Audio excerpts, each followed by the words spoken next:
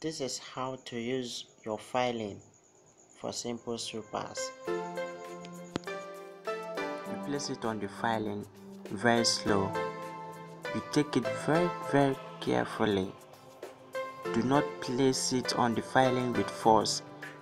If not, you are going to spoil the palm. So you place it on the filing very very slow. You take it slowly. You take it slowly when you place it on the filing you file the side of the sole first. You file it first because the side of the sole is stronger than any other material. So you file the side of the sole very very important.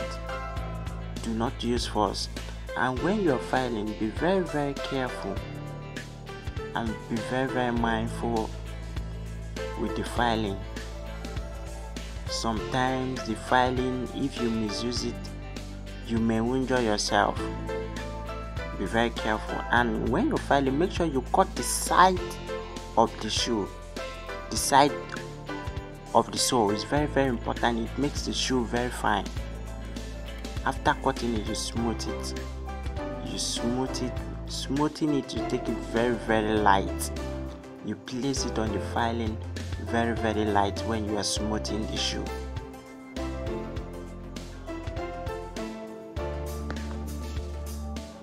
Cutting the side of the material is very very important.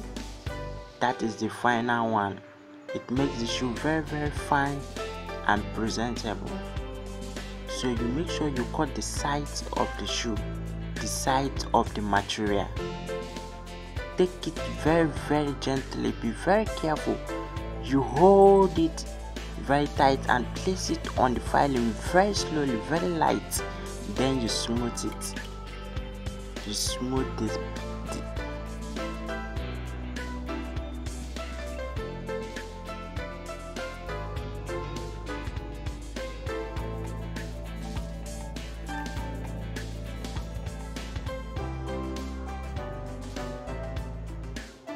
and don't forget when you're filing you are arranging the shoe straightening the shoe you cannot just be filing without straightening the shoe when you are filing you are straightening the shoe make sure the shoe is normal is straight.